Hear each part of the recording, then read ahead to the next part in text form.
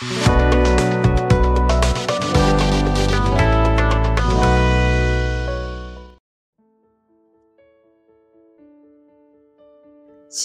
selamat pagi. Kita bersyukur kepada Tuhan kembali dipertemukan dalam Rehat Renungan Harian Toraya edisi Rabu 16 Agustus 2023.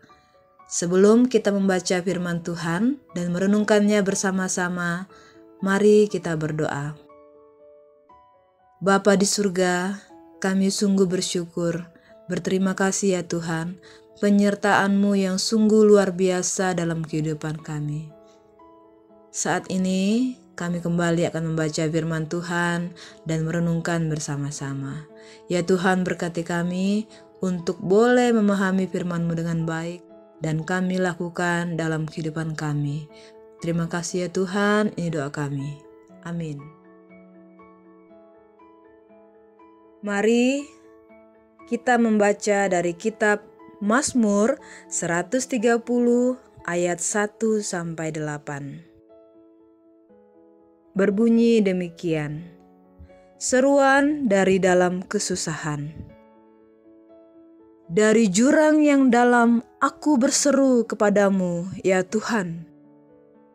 Tuhan, dengarkanlah suaraku biarlah telingamu menaruh perhatian kepada suara permohonanku. Jika engkau, ya Tuhan, mengingat-ingat kesalahan-kesalahan, Tuhan, siapakah yang dapat tahan? Tetapi padamu ada pengampunan, supaya engkau ditakuti orang. Aku menanti-nantikan Tuhan, jiwaku menanti-nanti dan aku mengharapkan firman-Nya. Jiwaku mengharapkan Tuhan lebih daripada pengawal mengharapkan pagi, lebih daripada pengawal mengharapkan pagi. Berharaplah kepada Tuhan, hai Israel, sebab pada Tuhan ada kasih setia, dan Ia banyak kali mengadakan pembebasan. Dialah yang akan membebaskan Israel dari segala kesalahannya. Amin. Tema renungan kita pagi ini, jangan jenuh menantikannya. Ada seorang pemuda bernama Lukas memiliki rencana untuk pergi ke tempat wisata air terjun. Mengetahui bahwa Lukas mempunyai rencana untuk pergi ke tempat wisata, seorang sahabatnya bernama Olan bermaksud untuk ikut ke tempat wisata tersebut. Ia lalu menghubungi Lukas agar Lukas mau memboncengnya karena ia tidak bisa mengendarai motor. Lukas pun berjanji akan menjemput Olan ketika akan pergi ke tempat wisata. Pada hari keberangkatan, Olan sudah bersiap dan menunggu Lukas.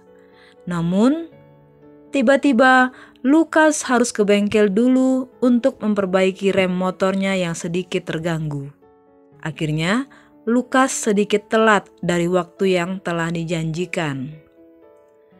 Olan yang kurang sabar menunggu, akhirnya ia kembali ke dalam rumah dan memutuskan untuk tidak jadi pergi. Ketika Lukas tiba untuk menjemputnya, Olan sudah memutuskan untuk tidak jadi berangkat. Akhirnya, Lukas mencari temannya yang lain untuk berangkat bersama ke tempat wisata yang telah ia rencanakan. Pemasmur sungguh menghayati kasih Tuhan dalam kehidupannya. Ketika dia sedang dalam pergumulan yang berat dan menekan, ia tetap sabar dan setia menantikan pertolongan Tuhan. Pemasmur tidak merasa jenuh menantikan saat kapan pertolongan Tuhan dinyatakan baginya, walaupun ketika itu ia sedang dalam pergumulan yang sangat berat. Pengalaman hidup beriman Pemasmur membuatnya sangat yakin bahwa Tuhan akan menolongnya di saat yang tepat. Ia membandingkan dirinya dengan pengawal yang sedang berjaga malam, yang selalu mengharapkan segera datangnya pagi. Bukan saja pemazmur mengajak dirinya untuk menaruh pengharapan kepada Tuhan, tetapi sekaligus menyuruhkan kepada semua umat untuk berharap hanya kepada Tuhan.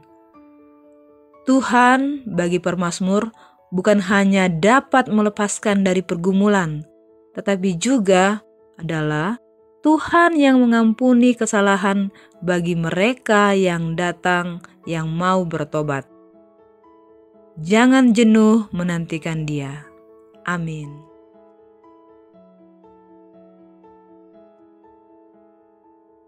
Menutup renungan kita pagi ini, mari kita berdoa. Ya Bapa di surga, terima kasih atas firman-Mu yang telah kami baca dan kami renungkan bersama-sama. Firman-Mu yang sungguh luar biasa. Firman-Mu mengajarkan kami untuk tidak jemu-jemu menantikan janji Tuhan dalam setiap pergumulan kami, dalam setiap permasalahan kami, di kehidupan kami masing-masing, di keluarga kami masing-masing, ya Tuhan. Biarlah kami senantiasa menaruh pengharapan hanya kepadamu. Kami yakin dan percaya ya Tuhan, bahwa pertolongan Tuhan akan hadir tepat pada waktunya. Ya Tuhan, berkatilah kami semua dalam kehidupan kami masing-masing. Kami selaku orang tua, berkati kami, berikan kami hikmat yang baik untuk boleh mendidik anak-anak kami ke jalan yang Tuhan kehendaki. Juga dalam pekerjaan kami masing-masing dalam tugas tanggung jawab yang Tuhan karuniakan kepada kami, biarlah kami semua boleh melakukannya dengan penuh sukacita. Ya Tuhan, berkatilah anak-anak kami dalam pendidikan mereka, dalam kehidupan mereka sehari-hari. Biarlah anak-anak kami semua boleh bertumbuh menjadi anak-anak yang takut akan Tuhan. Berkati hamba-hambamu yang engkau pakai untuk melayani engkau ya Tuhan.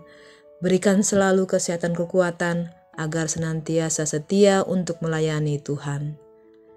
Berkati para lansia dalam masa tua mereka masing-masing, biarlah mereka senantiasa bersuka cita untuk boleh memuliakan nama Tuhan. Berkati juga orang-orang yang dalam kelemahan tubuh ya Tuhan, kiranya mereka pun boleh memperoleh kesembuhan yang asalnya daripada Tuhan. Juga kami mendoakan bangsa dan negara kami ya Tuhan, biarlah bangsa dan negara kami ini boleh selalu dalam keadaan aman, tentram, dan damai. Inilah doa kami ya Tuhan, dalam nama Tuhan Yesus kami sudah berdoa. Amin. Demikianlah renungan kita hari ini. Sampai berjumpa kembali esok hari. Shalom.